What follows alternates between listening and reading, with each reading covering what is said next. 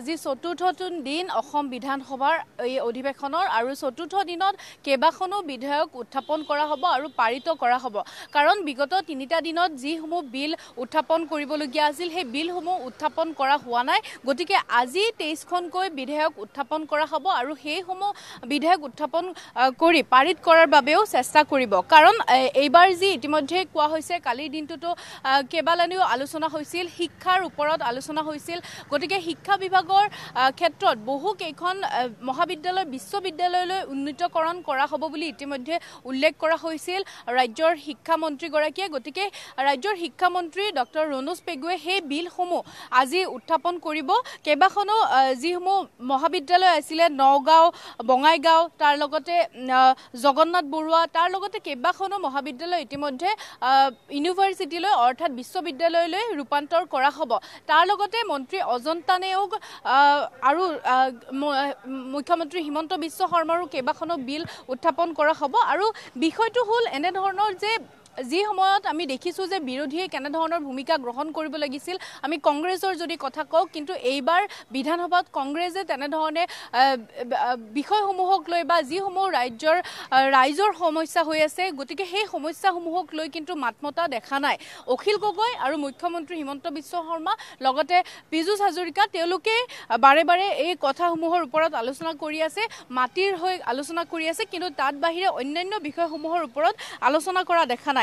আজি আহ, মুখ্যমন্ত্ৰী হিমন্ত বিশ্ব শৰ্মাৰ এখন বিল আছে। সেই বিলখন আজি উত্থাপন কৰিব। The mobility of employment of the state government and the other establishment এই বিলখন উত্থাপন কৰা হ'ব।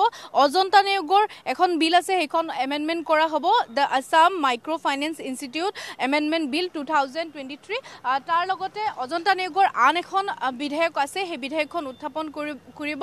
Assam goods and services tax amendment bill আৰু তাৰ লগত অশোক সিংঘালৰ আছে the Guwahati corporation development authority amendment bill. Ashok সিংঘালৰ আন এখন বিল আছে। The Assam public safety enforcement bill two thousand twenty three এইখন বিল উত্থাপন কৰা হ'ব। Parimal শুক্লবৈদ্যৰ the Assam motor vehicle taxation amendment bill আৰু তাৰ লগতে সঞ্জয় কিষাণৰ দ্য আছাম গ্ৰেটুৱেটি বিল এইকেইখন উত্থাপন কৰা হ'ব।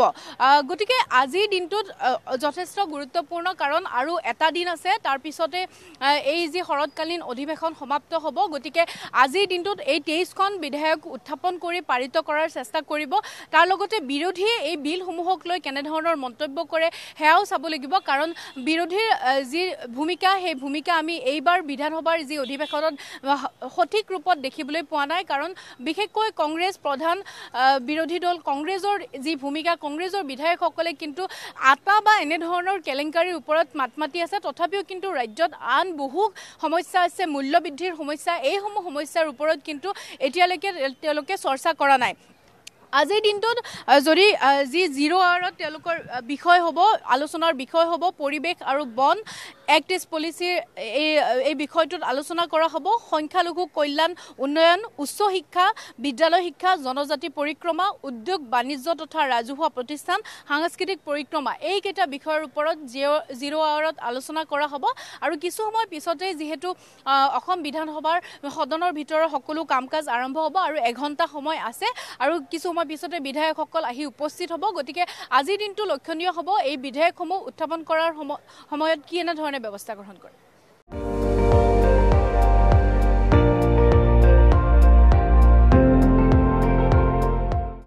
আপুনি চাই আছে এন ডি টুৱেণ্টি ফ'ৰ। সৰ্বশ্ৰেষ্ঠ নহয় সৰ্বোত্তমৰ দৌৰ